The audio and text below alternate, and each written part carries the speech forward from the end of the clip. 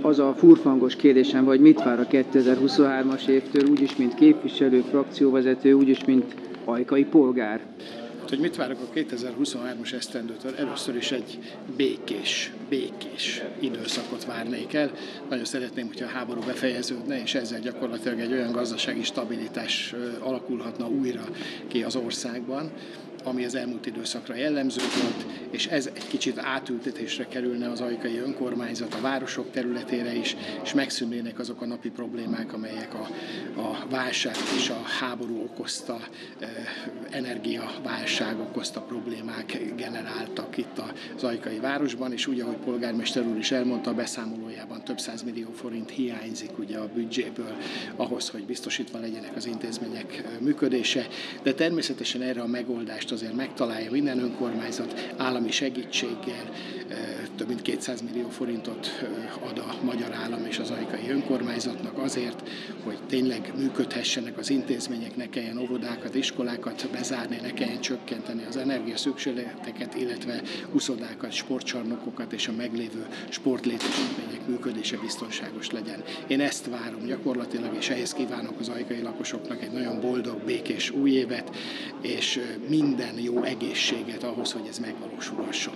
Érze olyan csomópontokat a város működésében, most gondolok itt a kórházra, látom az igazgató úr mellett őt, amik esetleg ismeretlen kimenetelőek lehetnek egyelőre. Tehát az új egészségügyi törvény ugye sajnos megengedi, hogy akár, nem mondom, hogy így lesz, csak akár leépítések is történhessenek Ajkán, és mondjuk az ápolási osztály legyen a főszerep, a jellegi 14 jó működő osztály helyett. Igen, nagyon sokat beszélnek erről Ajkán és a környéken az Ajkai Kórházzal kapcsolatban. Én sokat szóra mondom el azt, hogy az Ajkai Kórháza legyen második legnagyobb kórháza, területileg, logisztikailag is egy olyan elhelyezkedési ponton van, amelynek a bezárása, megszüntetése, illetve az ilyen szintű leépítése. Tehát fűnyíró elv alapja nem lehet Nem kezelni. lehet, nem lehet lehet érdeke ez senkinek, úgyhogy én nagyon bízom benne, és ez napi kapcsolatban vagyok a kórház főigazgatójával, és rajta keresztül az államtitkársággal, illetve Navracsics miniszter úrral, és mindent el fogunk követni annak érdekében, hogy ez a kórház hosszú távon biztonságosan és ugyanazzal a volumennel tudja működni, amit megszokott az itteni lakosság. Mi sikerült már a miniszter úrral valamiféle megállapodásra, vagy közös nevezőre jutni, vagy egy stratégiát miniszter kialakítani? Úrral, miniszter vagy még hát nem, van ez nem, a... nem, kell, nem kell stratégiát, és nem kell megállapodást kialakítanunk, hiszen miniszter úr ennek a választókerületnek az országgyűlési képviselője, ennek a választókerületnek az elnöke. Tehát egy nyelvet beszélnek. Abszolút egy nyelvet beszélünk, és pontosan tudja, hogy itt Ajkán és a térségben egy 60 ezeres agglomerációnál mire van szükség, és hogy ennek az egészségügyi intézménynek a létjogosultsága az megvan. Akkor én is boldog új évet kívánok. Köszönöm. Télen kevesebbet járjuk a hegyet, kevés emberrel találkozok. Én csak az enyémmel tudok, be, az enyémről tudok beszélni, azt tudom mondani, hogy pont az előbb beszélgettünk, hogy akinek most nem jó a bora, így január elejére, annak már soha nem lesz jó a bora. Na most Márton napon rég túl vagyunk, mégis hát, milyen volt a termés, már lehet tudni, tehát milyen bort adott a Hát sajnos ugye a Márton, a Márton nap egyesületünk, Csékuti Egyet Egyesület megszokta a Márton napi rendezvényeket csinálni, pontosan előtte egy héttel jött ez az önkormányzati rendelet, hogy a nagy kultúrházakat nem fűtik. Ja, igen. Tehát már minden le volt szervezve. Tehát már az se. Minden le volt szervezve, mindent vissza kellett mondani. Az se történik. nem tudjuk, hogy... És így uh, informális csatornákon, tehát beszélgetések közben... Hát mindenkinek a sajátja a. Mindenki a saját, persze, minden cigány hát, saját lovát dicséri. Így, így van, így van. Aha. Igen, igen. Szóval azért reménykedhetünk. De, de egyébként akinek volt, az annak biztos, hogy jó. Aha. És hogy mennek az ügyek Csékúton? Útépítés, vízelvezetés, egyesületi összefogás? Igen, hát most az ősztől egy picit, egy, egy picit lelassult, mindig is leszokott lassulni, egyébként most nagyon is ráférne a dőlő utakra a javítás. A csapásút, a fő útirány a Csékúti hegyre, az azt gondolom, hogy megszépült, mivel egy vadkerítést húztak rá, amit az önkormányzat a Csékug Egyet Egyeset nevében pályázott és el is nyert. Mm. 4 millió forint értékben. Tehát elkészült a vadkerítés? El, elkészült. Ez aztán nagyon megosztja egyébként a, a Csékuti. Hát gondolom a vadoknak nem tetszik.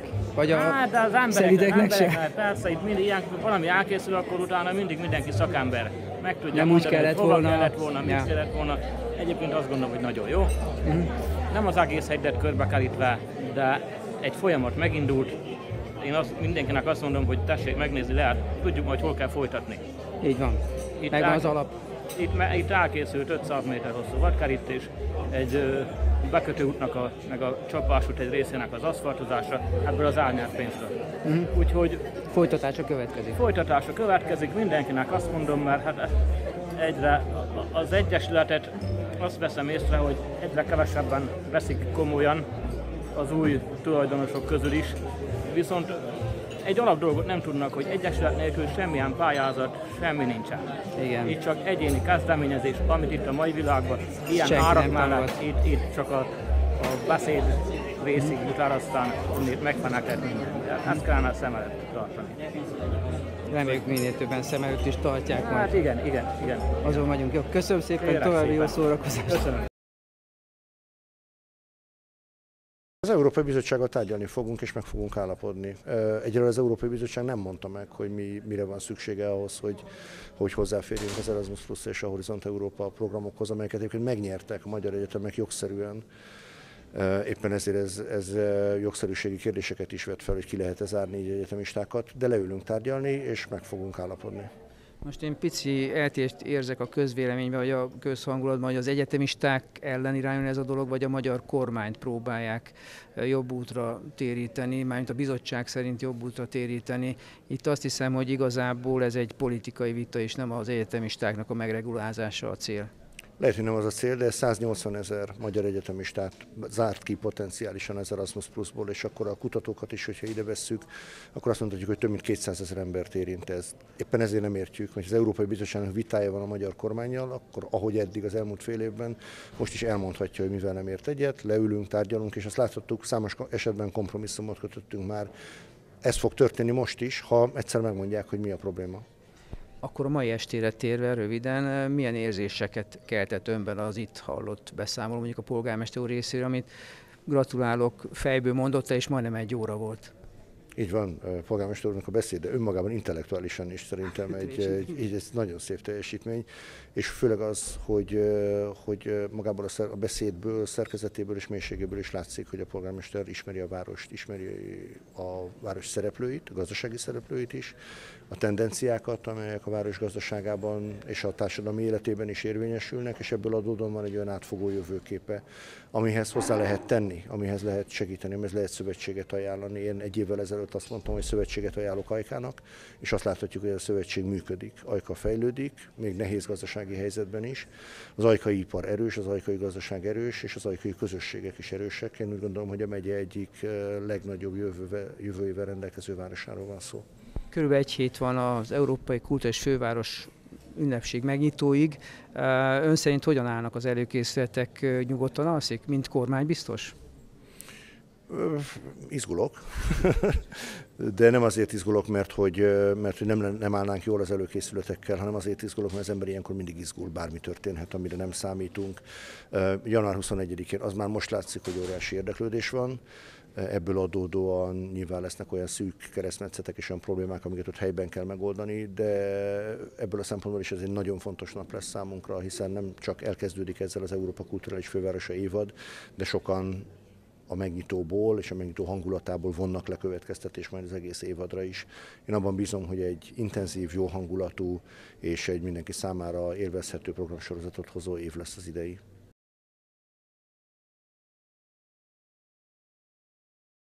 Valóban ilyen kedvező a gazdasági helyzet ajkán, mert jó kilátásokra ad okot, én úgy gondolom.